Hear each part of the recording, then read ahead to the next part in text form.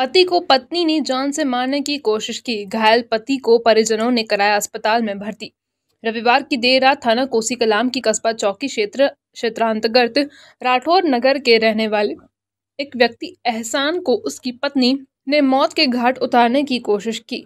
इस दौरान पत्नी ने पति के गले में धारदार हथियार से प्रहार करते हुए घायल कर दिया। मामूली बातों को लेकर परिवार में विवाद होते रहते हैं, लेकिन छोटी सी बात पर एक पत्नी ने अपने पति को धारदार हथियार से घायल कर दिया। अपने ऊपर हमले को देख जागे हुए पति ने सामने शोर मचाना शुरू कर दिया। शोर मचते ही उसके परिवार के लोग घटनास्थल पर पहुँच गए और घायल युवक इंसान को देख होश उड़ गए। युवक एहसान लहूलुहान की हालत में अपने बिस्तर पर पड़ा हुआ था। घटना को गंभीरता से लेते हुए परिजनों ने देर रात ही घायल युवक एहसान को स्थानीय अस्पताल में भर्ती करा दिया। वहीं परिजनों ने घटना को लेकर थाना पुलिस एवं डायल हंड्रेड पुलिस को सूचना दे दी। सूचना पर पहुँचे पुलिस ने पूरे मामले को लेकर परिजनों से जानकारी की।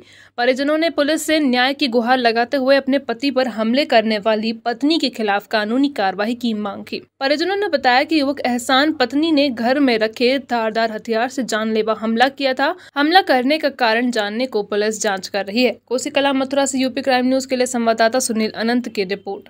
हाँ क्या मामला ये जो? ये मेरा ये भाई है मेरा चचेरा ऐसा नाम है इसका। हम्म, हम्म। इसकी वाइफ ने जो ना रात के पौने दो बजे जानलेवा हमला किया था इस पर। हम्म, अब ये इस पर हमला क्यों किया है ये पुलिस रिमांड पे ले इसे इसकी वाइफ को। अच्छा। तो वही बताइए क्यों हमला किया। तो क्या नाम है इसकी वाइफ का? इसकी वाइफ का नाम हसीन है जी इसकी वाइफ कहाँ की रहने वाली है कुछ पता है? ये जेवर जेवर। खुर्जा।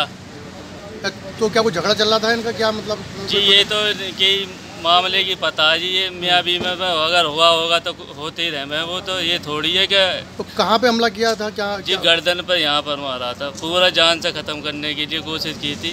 अच्छा। हाँ। ये इमरान कहाँ के रहने वाले हैं? एहसान है सर। एहसान कहाँ ये राठौर नगर कोसी कला हम्म। तो पुलिस को सूचना कर दी?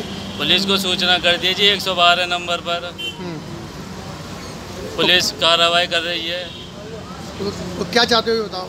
ये चाहते हैं जी बाइब को कहा कि मैं रिमांड पे लिया जा। वो बताए कि क्यों मारा है किस लिए मारा है क्या मैटर है। रिपोर्ट दर्ज हो गई? है जी। रिपोर्ट दर्ज हो गई? हाँ जी रिपोर्ट दर्ज हो